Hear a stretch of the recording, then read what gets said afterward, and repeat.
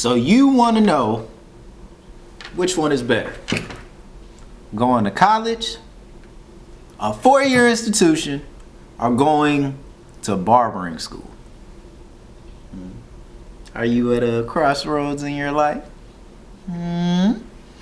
Hmm. Well, I'm here to tell you which one was better for me.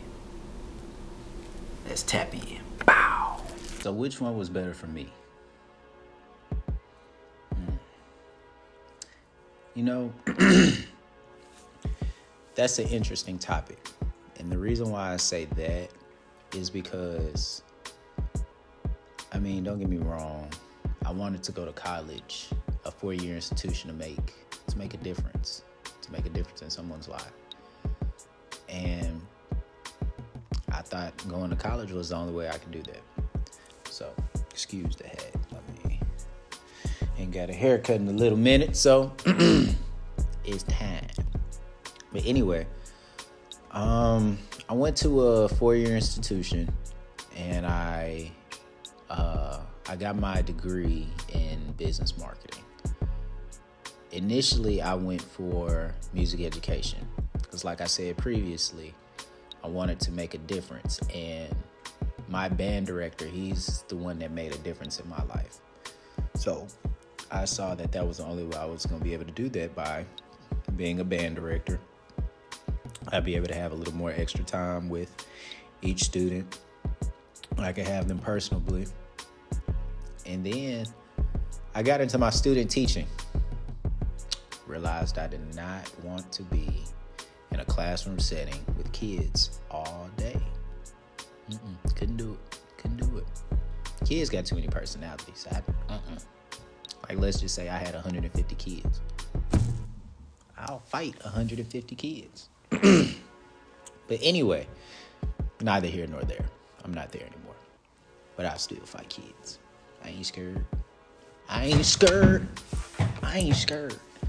So anyway, um uh so I realized I didn't want to be in a classroom setting with kids all day. So, changed my major to business marketing. My father, he has he's been running his own business since I want to say 2006. Don't quote me on that. I hope that's right. But anyway, so business to me was like really second nature. And I was already cutting since 2015. So I was like, okay, well, let me just combine these two together. So upon doing that, um, I had like a epiphany moment. Like I was okay, I can really do this. Like, I figured out how I can seriously, seriously make a make a way for myself, make a name for myself in this uh in this industry. so anyway, um, what happened? Uh, but what I'll say is this. The reason why I say it's neither bad nor good that I went to a four year institution before wanting to become a barber because um because going to college essentially it brought me out my shell. If it wasn't for me going to college, I wouldn't be a barber today probably. I don't know. Maybe no, yeah, I probably would but that's another video. But anyway, some of the struggles that um, up and coming barbers they have to face now. I mean, I faced them back in college. Um, so, like the fact of building your clientele, um, dealing with different personalities, dealing with different emotions, dealing with uh, different hair textures. I mean, I did that. I started that doing that back in 2015. So the fact that I'm just in a shop setting now is really just second nature for me. But anyway, am I in focus? Yeah, I'm in focus. So anyway, um, so yeah, it was very, I mean, that's why I say it was neither good nor bad. So fast forward to barbering. Um, they told me the program I was a part of it was going to take roughly 10 months to a year and a half. And uh, I was said, so I, excuse me, I'm stumbling over my words.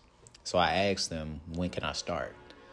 Um, my initial day that I was going to start was, I think they told me it was in December.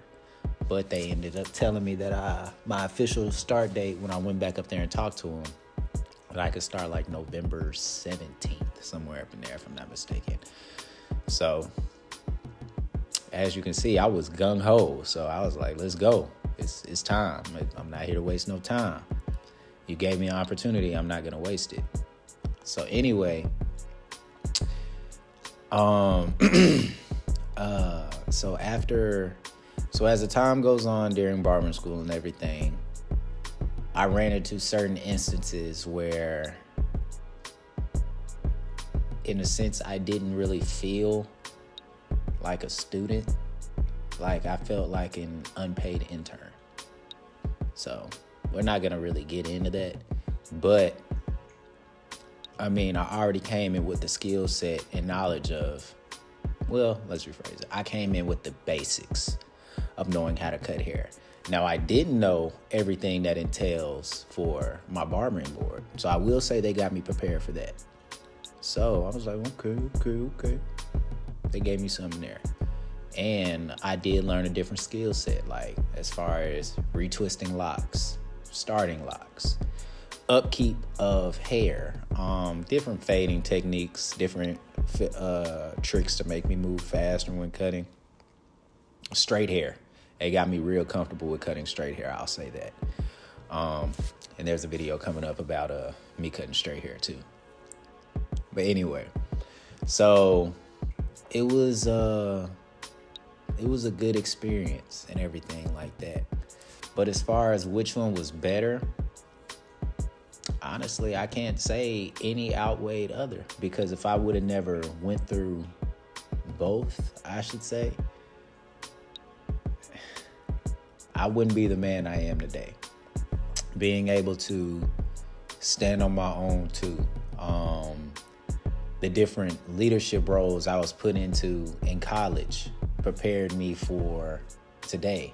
Actually, standing up, having a voice for myself, actually being able to move with professionalism, which is very hard and well, it's not really hard, but which is very mm, unheard of in our industry when people get uh, when people get to a certain uh, status, I should say. Now, of course, you're going to be yourself, but it, at the same time, it should be some level of professionalism.